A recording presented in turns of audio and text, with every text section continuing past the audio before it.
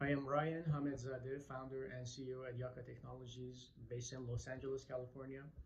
Back in June, I sent my application, pitch deck, and all the startup essentials over to FasterCapital via Miss Lana. And we had a Q&A session on WhatsApp, and I had my fingers crossed. Fast forward to July, I got this email uh, from FasterCapital that they love what we're doing with Yaca. By August 24, Mr. Vidal Sadir gave me the great news. Yaca was officially in for FasterCapital's acceleration program. They threw in um, a grant of $5,000 in program services.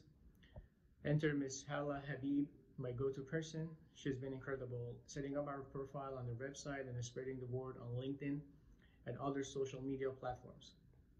FasterCapital dove into Yaca's documents, giving us the lowdown on where we could improve.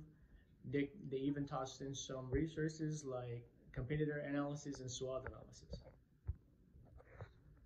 I can't stress enough how hands-on and dedicated this team is, led by the amazing Mr. Hashim. Their feedback was spot on, helping us fill the gaps and polish our pitch.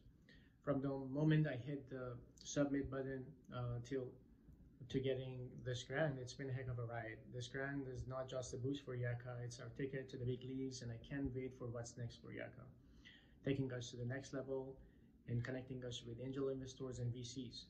Big shout out to FasterCapital. You guys rock. Thanks for the incredible support.